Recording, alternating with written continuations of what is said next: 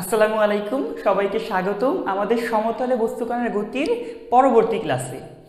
আজকে থেকে আমরা একটা নতুন অধ্যায় শুরু করব, তা হচ্ছে উলম্ব তলে গতি। এটা খুবই সহজ এবং খুবই ইম্পর্ট্যান্ট একটা অধ্যায়। তো চলো শুরু করা যাক। আমরা আমাদের গতির সমীকরণগুলো এর আগের অধ্যায় করলাম কি? এক্স অক্ষ বরাবর করলাম। এবার ওগুলোই হবে ওয়াই অক্ষ বরাবর মানে উলম্ব তলে। তাই অধ্যায়ের নাম বললাম কি? উলম্ব তলে গতি। আর আমরা কয়েকটা কেস করে পড়লে কখন জিটা প্লাস হবে, কখন জি মাইনাস হবে, কিংবা কখন আমার আদিবেগটা মাইনাস হবে, ওগুলো আমরা খুব সহজে বুঝতে পারব। তাহলে চলো কথা না বাড়িয়ে আমরা শুরু করে ফেলি। আমাদের কেস ওয়ান দেখো এটা কী ছিল? মনে করো আমি বাড়ির ছাদ থেকে একটা বস্তুকে টুপ করে ফেলে নিচ্ছি। হতে পারে কি, ছেড়ে দিলাম, আদিবেগ শূন্য, বা আমি নিচে নিক্ষেপও করতে পারি। দুই ক্ষেত্রেই পসিবল সমস্যা নেই। সো মনে করো নিক্ষেপই করলাম। সো নিক্ষেপ করলে দিক কোনটা? আদিবেগের আদিবেগের দিক নিচের দিকে। একটু পর বস্তু এখানে আছে, তার শেষ বেগের দিক কোনটা? এটাও তো ভাইয়া নিচের দিকেই। যদি বলি অভিকর্ষিত ত্বরণ, জি এর দিক কোনটা? বাই ডিফল্ট নিচের দিকে।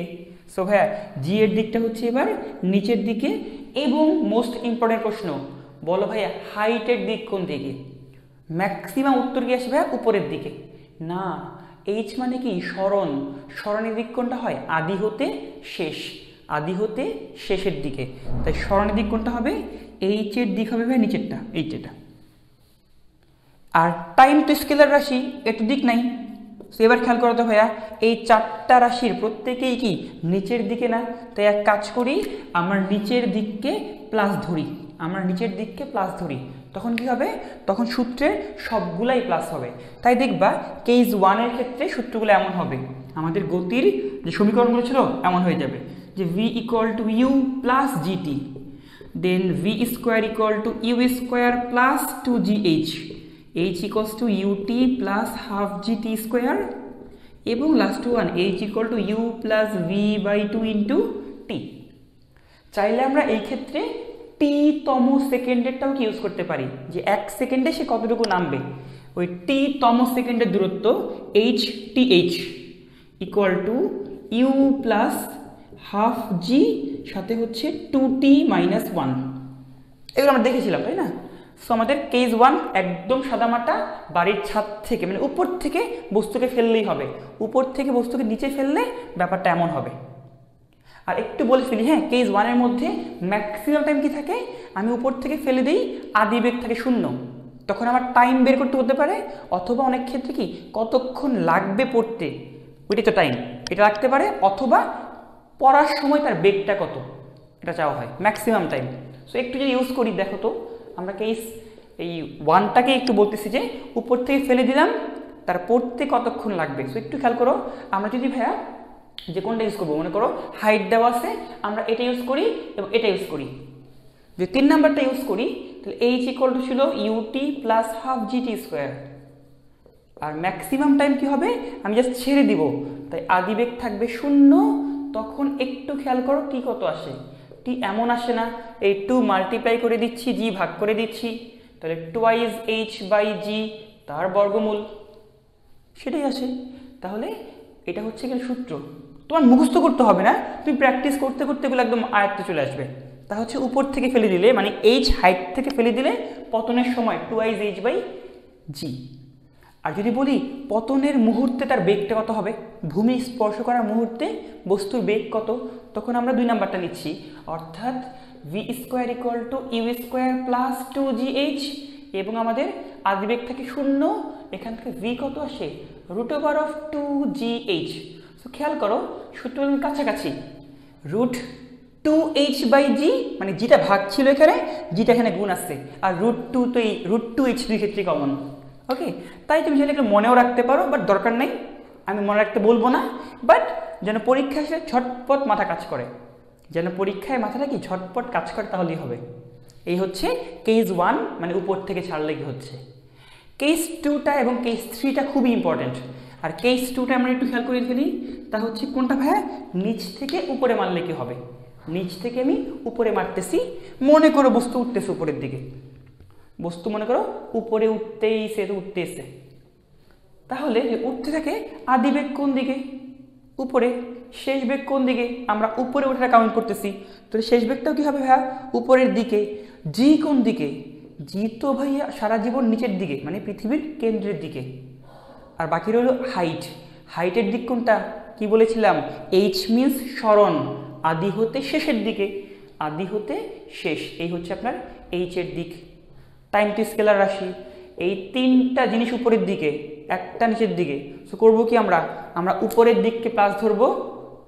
তাই সূত্রের মধ্যে এগুলো হবে প্লাস শুধুমাত্র জিটা হবে মাইনাস তাই দেখবা কেস টু সূত্রগুলো এমন হচ্ছে যে ভাইয়া V equal to U minus G T then ভাইয়া V square equal to U square minus two G H H equals to U T minus half G T square এবং H equals to U plus V by two into T বলতে পারবে হ্যাঁ minus কেন হয় নাই? কারণ কি? Minus কে ছিল? অনলি জি ছিল মাইনাস জি থাকলে তার আগে অবশ্যই মাইনাস দিতাম। এই সূত্রে জি নাই, তাই সূত্রে মাইনাসও নাই কিন্তু। U plus V by two into T তুমি চাইলে এখানেও কিন্তু ওই এইচ টি এইচ টি তম সেকেন্ডের সূত্র অ্যাপ্লাই করতে পারো। কত হবে? এইচ টি এইচ হচ্ছে U minus half G two T minus one okay so আশা করি আমরা কেস টুটাও বুঝতে পারলাম। ঠিক আছে? তাহলে এখন থেকে যেন ঝটপট মাথা থাকে, উপর থেকে ফেললে সব প্লাস নিচ থেকে উপরে মারলে সব কিছুই প্লাস বাট জিটা মাইনাস ওকে আচ্ছা কেস টু নিয়ে একটু কথা আসছে এটা পরে বলব। আমরা এখন দেখে ফেলি কেস নাম্বার থ্রি তার আগে ভিডিও পজ করে পুরো পার্টটা তুলে নিই। আশা করি তুলে ফেলছি। এবার ভাই আমি এই পার্টটা একটু মুছে দিচ্ছি। এবার দেখব হচ্ছে আমরা কেস নাম্বার তিন। কেস থ্রি কোনটা? কেস থ্রি হচ্ছে ভাইয়া বাড়ির ছাদ থেকে আমি বস্তুকে উপরে ফেলতেছি। বাড়ির ছাদ থেকে আমি উপরে ঢিল মারি, ব্যাপারটা অনেকটা এইরকম। যে উপরে মারি, সে উঠে আবার নামতেছে। এই টাইপের কেস এবং আমরা ফিজিক্সে কিন্তু ভাই কেস ওয়ান টু পড়ি। কেস থ্রি খুব বেশি পড়ি না। সো এবার কেস থ্রিটা পড়তে হবে। আচ্ছা বাড়ির ছাদ থেকে আমি উপর থেকে নিচে ফেললাম, তাই না? বাড়ির ছাদ থেকে আমি উপরে ঢিল মারলাম, সে বাড়ির ছাদের লেভেলকে ক্রস করে নিচে নামছে। তাহলে আদিবেগ কোন দিকে? আদিবেগ তো উপরের দিকে। শেষ বেগ কোন দিকে ভাইয়া নিচে। জি কোন দিকে? এইটাও নিচে। বাকি রইল কোনটা? এইচ। দিক কি ছিল? আদি হতে শেষ। আদি এখানে, শেষ এখানে। আদি হতে শেষ। এইচটাও কিন্তু ভাই এবার নিচে। সো করব কি আমি? তিনটা জিনিস নিচে আছে। সো আমি এবার করি কি? নিচের দিককে প্লাস ধরি। তাহলে আদি বেগটা কি হবে? মাইনাস হবে না। তাই এই সূত্রটা এমন হবে। ঠিক আছে? যে V equal to minus U plus G T তারপরে V square equal to minus U এর whole square overall plus U square plus two G H H equal to minus U T plus half G T square সর্বশেষ H equal to minus U plus V by two into T আর তুমি চাইলে এখানেও ওই H T H use করতে পারো। তা কত হবে দেখো তো? এইচ টি হচ্ছে U sorry minus U minus U plus half G two T minus one ঠিক আছে? এই আলোচনাটা এই অধ্যায়ের সবচাইতে ইম্পর্টেন্ট ঠিক আছে? তাহলে আমাদের খুব ক্লিয়ার লাগবে আমরা কখন এবং কেন সূত্রগুলো অ্যাপ্লাই করতেছি বা এমন কেন হচ্ছে সূত্রগুলো। সো ভাইয়া ভিডিও পজ করে কেজ ওয়ান টু থ্রি একবার চোখ বুলায় নিই আমরা। আশা করি দেখা হয়ে গেছে। এবার আমরা কেস টু নিয়ে হালকা একটু কথা বলব হ্যাঁ? কেস টু নিয়ে আমি হালকা একটু কথা বলতেছি, আর আমাদের কেস থ্রি তো বুঝে গেছি। কেস টু নিয়ে কোনটা বলব? মনে করো, আমি একটা বস্তুকে তো ঢিল মারলাম, খাড়া উপরের দিকে ইউ বেগে। সে কী হবে? সে উঠবে, উঠে তো আবার নামবে। সো ধরো, বস্তু ট্রাভেল পথটা এমন। ধরো, সে ট্রাভেল করতে হয় উঠল, উঠে আবার নামতেছে। তবে একটু বলে রাখি, যদি আমি পারফেক্টলি বায়ুশূন্য স্থানে একটা বস্তুকে খাড়া মারতে পারতাম, সে যেই পথে উঠতো এক্স্যাক্টলি ওই পথেই নামতো। ঠিক আছে? তার কোনো আনুভূমিক স্মরণ হতো না। বাট আমরা উত্থান পথ এবং পতন পথকে পার্থক্য করতে ব্যাপারটা দেখালাম। ওকে আচ্ছা এবার কি দেখব? আমি এখান থেকে মোট তিনটা জিনিস জানতে চাচ্ছি। এক হচ্ছে ভাইয়া, বস্তু সর্বোচ্চ কত উপরে উঠবে? দুই বস্তুর সর্বোচ্চ উচ্চতায় উঠতে কতক্ষণ লাগবে? এবং তিন, তার পর্যায়কাল কত? সো প্রথম কথা ভাইয়া, বস্তু সর্বোচ্চ কত উচ্চতায় উঠবে? ক্যাপিটাল এইচ দুই নাম্বার, সর্বোচ্চ উচ্চতায় উঠতে তার কতক্ষণ লাগবে? আমি টি এম দ্বারা লিখব এটা, ঠিক আছে? আমি চাইলে এগুলো মুছে ফেলতে পারি। এই যে ব্যাপারগুলো আমার লাগবে না এখন আর হ্যাঁ? এই স্ত্রীও তো হয়ে গেছে। এবার দেখো আর তিন নাম্বার হচ্ছে, তার পুরো পর্যায়কাল বা উড্ডয়নকাল কত? মনে করি তার পর্যায়কাল ক্যাপিটাল টি।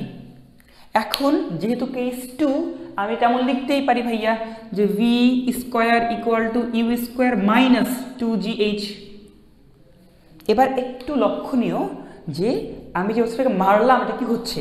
সে উঠতেছে উঠতেছে মানে কি বেগটা কমতেছে, কারণ নিচের দিকে জি কাজ করে। বস্তুর উপর মন্দন কাজ করতেছে। তার বেগটা কমতে কমতে কমতে কমতে শূন্য হবে দেন সে আবার পড়বে না। তাহলে বলো, সর্বোচ্চ হাইটে বস্তুর বেগ কত হবে? অবশ্যই অবশ্যই শূন্য হবে না।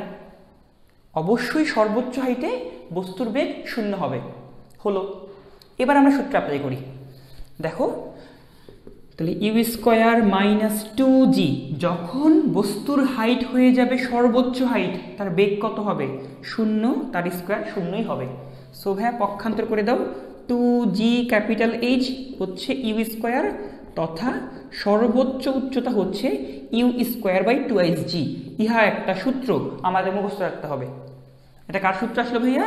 সর্বোচ্চ উচ্চতা। সর্বোচ্চ উচ্চতা। খুবই সিম্পল সর্বোচ্চ হাইটে বেগ শূন্য, ওইখান থেকে চলে আসছে।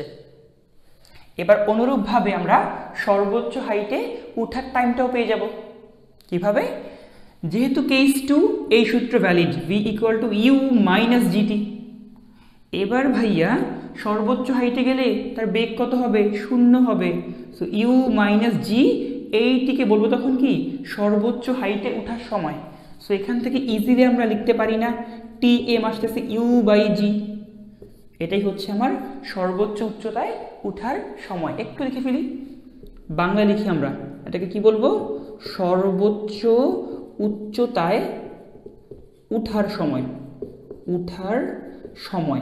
আর একটু দেখো তো, সর্বোচ্চ উচ্চতায় উঠতে যতক্ষণ লাগে, এটাকেই বলতে পারি না উত্থানকাল। হ্যাঁ বলতে পারি। এটাকেই বলব আমরা উত্থানকাল। আর একটা বস্তু যতক্ষণ ধরে ওঠে, অতক্ষণ ধরেই পড়বে সে। তাই এটাকেই আমরা বলতে পারব পতনকাল। এটাকেই বলতে পারি কি? পতনকাল। ডান তাহলে আমরা কিন্তু দুইটা ফর্মুলা পেয়ে গেলাম। বাকি রইল কোনটা? ক্যাপিটাল টি যাকে বলতাম পর্যায়কাল বা বিচরণকাল।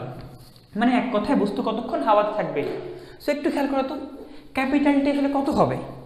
দেখো, একটা বস্তু কতক্ষণ হাওয়াতে আছে? উত্থানকাল প্লাস পতনকাল। তো খুবই সিম্পল কথা। ঠিক হবে, উত্থানকাল, ইউ বাই জি, এই যে উত্থানকাল, ইউ বাই জি। আবার পতনকাল কত? ইউ বাই জি না? সো তার টোটাল পর্যায়কাল হবে কত? Two U by G. So এটাকে আমরা কি কি বলব? দেখো তো একটু। এর আমাদের মোট তিনটা নাম ছিল, এর মতোই তিনটা নাম। একটা হচ্ছে, এটাকেই বলা হবে তার পর্যায়কাল। এটাকেই বলা হবে বস্তুটার পর্যায়কাল। এটাকেই বলা হবে বস্তুটার উড্ডয়নকাল। উড্ডয়ন কাল কি বলা হবে? বিচরণকাল বিচরণকাল ঠিক আছে? একটু কেয়ারফুল থেকো। উড্ডয়নকাল উত্থানকাল সেম না। উত্থান, কতক্ষণ সে উঠে? আর উড্ডয়ন, কতক্ষণ সে উড়ে? মানে হাওয়াতে থাকে। ওকে এবং এই তিনটা সূত্র পারলে আমাদের প্রাসের সূত্রগুলো পড়তে খুবই মজা লাগবে। দেখব হুবহু সেম টাইপ আসবে। ওকে তাই ভাইয়া, এই ব্যাপারটা কিন্তু খুব ভালো করে দেখব আমরা হ্যাঁ? এগুলো ফিজিক্সেও যেমন লাগে ম্যাথমেটিক্সেও তেমনই লাগবে। সো এই ছিল আমাদের এই অধ্যায়ের ইন্ট্রোডাকশন এবং এই ক্লাসটা ভাই খুবই খুবই ইম্পর্টেন্ট কেউ যে ক্লিয়ারলি না বুঝো ক্লাসটা আবার ভালো করে দেখবে। ঠিক আছে? এই সিম্পল বাট ইম্পর্টেন্ট কনসেপ্টগুলো আমাদের ম্যাথে বারবার লাগবে। সো আশা করি ব্যাপারটা আমরা বুঝতে পারলাম। আমরা নেক্সট ক্লাস থেকে বিভিন্ন গাণিতিক সমস্যা শুরু করব। ধন্যবাদ সবাইকে ক্লাসে দেখার জন্য। আল্লাহ হাফেজ।